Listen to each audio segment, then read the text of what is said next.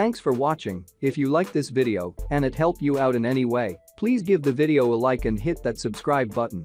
Hope to see you guys in the next video.